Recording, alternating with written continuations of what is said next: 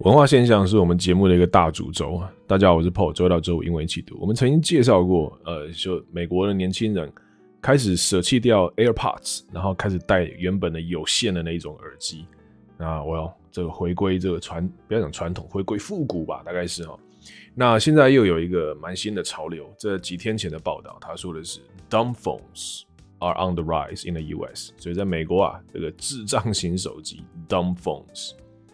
那因为 Gen Z 呢，希望可以减少他们的使用荧幕的时间，所以所谓使用荧幕的时间，你大概懂，就是少用电脑、少用手机、少用平板。呃，像很多国外的爸爸妈妈也会尽量减少或者是限制小朋友，可能一天可能只能用一小时啊之类的这样。我姐姐妹妹应该也都有这样处理哈，有这样家里的一个 policy，所以这个就叫 screen time，就这么简单，荧幕时间。那 dumb phones 智障型手机。这个字的发音就小心了，它的 b 是不发音的，就像爬、攀爬，我们说叫 climb，对不对？c l i m b，那它的 b 也是不发音，所以你不要把它念成 climb b，no no no no，climb，climb。那这边也是 dumb，dumb，不是 dumb，没有 b 的音在里面，这个小心一点点。OK，那智慧型手机怎么说？我就是 smartphones 就可以了，所以智障型手机就是 dumb phones。当然还有一些其他的那种。手机的种类啊，不包括我们以前用过，所以现在有一点点，我们介绍历史上有些手机的一些呃说法要怎么说。来，我们先往下看哦。那这边说的就是啊，就以前的那种 Nokia 手机吧，你大概知道哈，诺基亚这样子。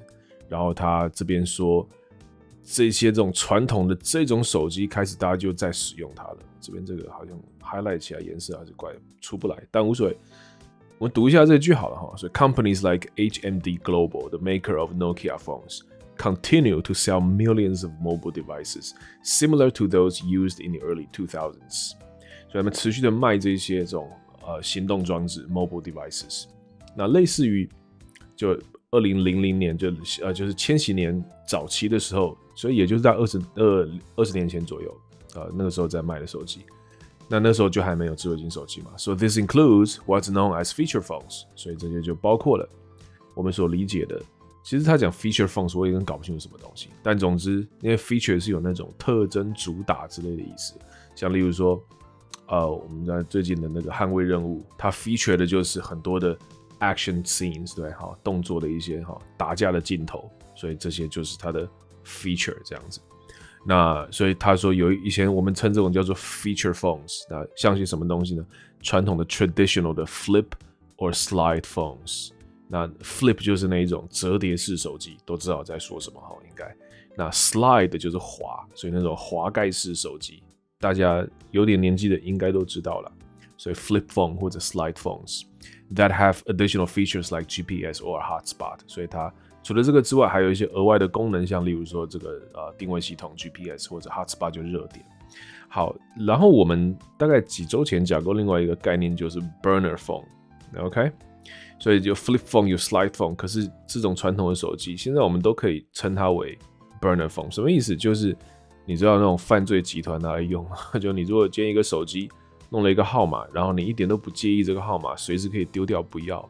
因为你只是拿来做一些短暂的事情之类的啊，那或者我们说，呃，像一些外劳可能来台湾工作的时候，那你要他们办手机，他们可能没有身份证啊，没有什么的，所以办签那个手机的约可能不好签，所以有一种叫做你知道，就是他不，他们没有是吃到饱没有约的，他们是用那一种这个 prepaid 啊预付的，所以 prepaid phone，prepaid phone card，所以预付卡之类的。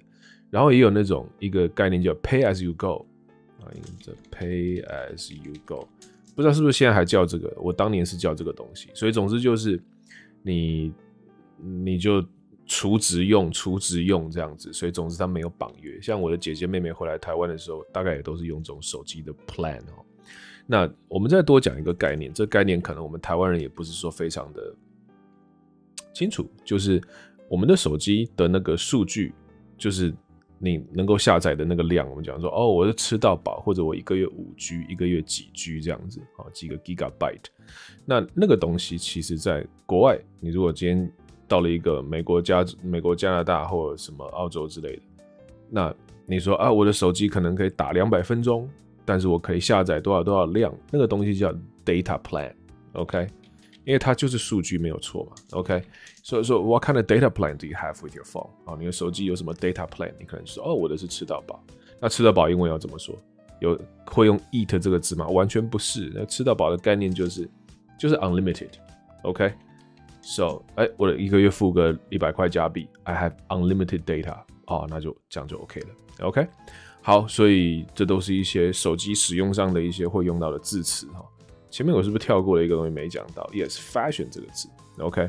这里它的开头了，刚刚这第一段我没念。So dumb phones may be falling out of fashion on a global scale, but it's a different story in the U.S. 所以刚刚讲智障型手机在全球来说呢，它是正在 fall out of fashion。那所以不流行，我们可以用这一种这个动词 fall out of something，fall out of fashion。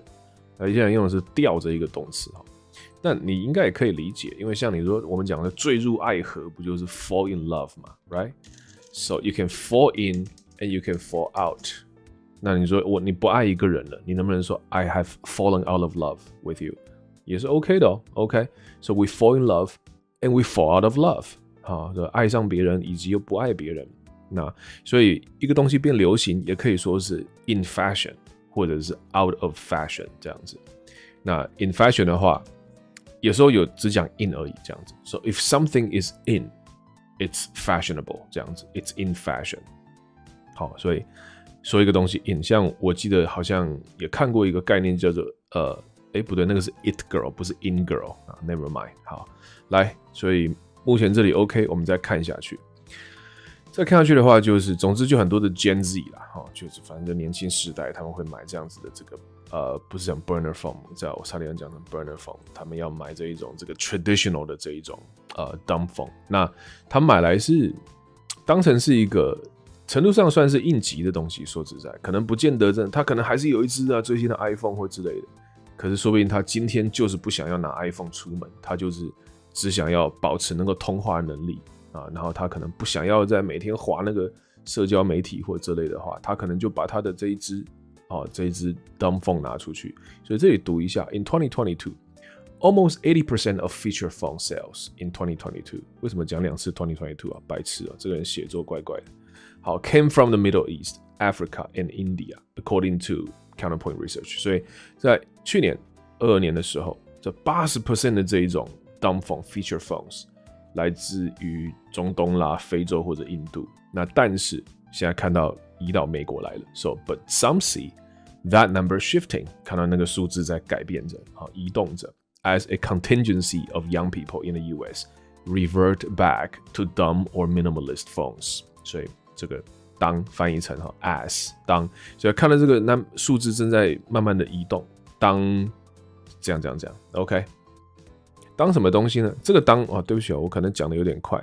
这个当不是时间的当，而是当做的当。所以看到他们把这一个这种手机呢，变成当做一个 contingency，as a contingency of young people in the U.S. 所以这边这个 contingency 可以发可以翻译成 这个字，或许不是很好翻译。呃，它中文讲成可能发生的事、意外事件、不测事件，或者另外一个翻译就是拿来应急用的。所以这个手机可以当成一个应急用的东西。那它的英文说的是 a future event or circumstance which is possible but cannot be predicted with with certainty。OK，所以一个未来的事件或者未来一个处境，而这个东西是可能发生，可是却不能够用很确定的一个角度去预测。OK，so、okay? which is possible but cannot be predicted with certainty。那我就觉得我们中文有讲一个。或者这是不是也是 不是中文哈？就但我们会说啊，我今天多买一个什么当做 UB 有没有？大家都应该知道说什么当做 UB。那 UB 我觉得一般是翻译可以，你说一定要讲成英文的话，这 backup，OK？所以例如说我买了一台手机，可是我怕手机坏掉，因为我是一个常常把手机摔掉的人，摔坏掉的人，所以我除了买这台手机，我还保有另外一台手机，可以当成是一个。U B 对不对？那它就是一个 backup，这样 OK。那所以现在你多学一个，你如果本来就会 backup 的话，good for you。可是你也可以说，哦，我还有另外一台手，它一台手机可以当成一个 contingency 这样子 OK。所以有听过一个呃名词，就 con contingency plan 也是有可以加一个 plan 在后面当计划的。好，所以当做是一个备用的计划或什么这些的，我觉得这个翻译过得去了。contingency。好，再读一下刚刚这个句子哈。So some see that this number shifting, okay, as a contingency of young people in the U.S. revert back to dumb or minimalist phones。呃，后面这个再讲一下下。所以很多年轻人呢，就回归到了用这种智障型手机。所以这个“回归”这个字哈，可以用这边用 “revert” 这个字，我觉得还过得去。OK，revert。所以它有重提复旧啦、恢复原状啦、恢复原来的做法啦之类的，revert。那 dumb 或者一些这种极简主义的手机，minimalist phones，好酷。来，那我们再看最后一个字好了，就是反正他们说的是有一大堆人拿着这些手机，right？好，所以我们看一下，有两家公司，一间叫 Punked，一间叫 Light，so they are catering to the trend。就 cater 这个字就是。针对我们讲到这个叫外汇，其实是哈，所以针对某个需求提供去满足那个需求，好，所以有那个需求在，然后我就创造出了一些什么东西来去满足它，所以我就 cater to 这一个东西。So 就这两家公司，they are catering to the trend，啊，trend 就是潮流这样，所以他们就卖那些啊，呃，卖给这些想要花少一点 screen time 的人这样子。So selling devices geared toward those with a desire to spend less time on their phones and social media. OK，所以买了这些 device，这些 device 呢就是专门专门设计给 那些人的。所以这个 gear 的这个字，其实 gear 一般来说 G E A R 这个字，我翻译成像齿轮之类的。OK，gear。那但是它用成动词的时候，你就可以说什么什么东西是专为谁给设计的。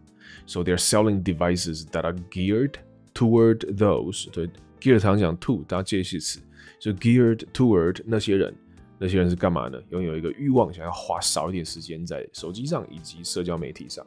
So geared toward those with a desire to spend less time on their phones and social media。